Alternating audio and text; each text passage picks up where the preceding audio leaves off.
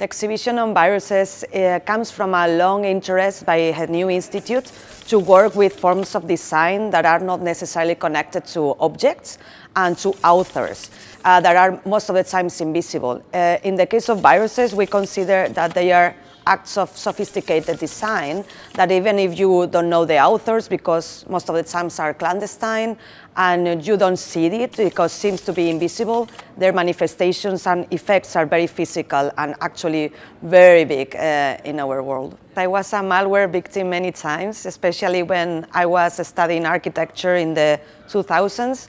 We were still using floppy disks so viruses were spreading all over the place and actually was the perfect excuse to not to finalize a project because it was like, oh, my computer was infected. I couldn't finalize this, uh, yeah, this project for the school. To me, the most beautiful virus, perhaps not in terms of aesthetics, but of the message, is the Skynet virus that is also called Terminator here. And I like it because it says, don't be afraid. I'm a very kind virus. You have been working a lot today, so now you can slow down. It's asking you to stop working and take time for you, which I think is quite needed nowadays. Malware could be considered art, but in this exhibition we position malware as a form of design.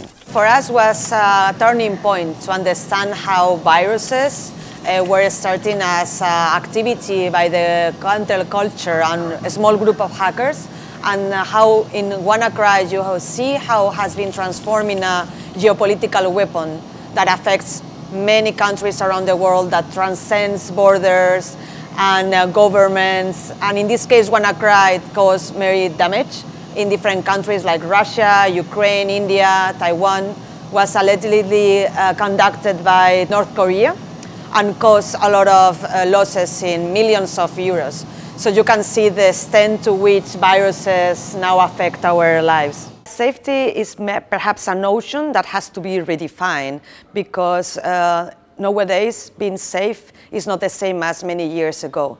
So I think in order to be safe, uh, we have to negotiate between safety and freedom. Um, and I don't think we can ever be completely safe now. When we were preparing the exhibition, we had a lot of fun with the story of the Anna Kournikova virus. This virus was designed by Jan de Wit, a Dutch uh, young uh, person living in the Netherlands. And the virus was actually uh, sent by email and allegedly was containing images of uh, Anna Kournikova, the Russian tennis player.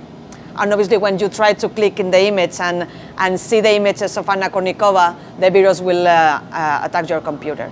What was so funny is that even if Jan was almost convicted by designing the virus, he uh, got an offer from the mayor of his hometown to be part of the local IT department. So it was an interesting and beautiful end of a story.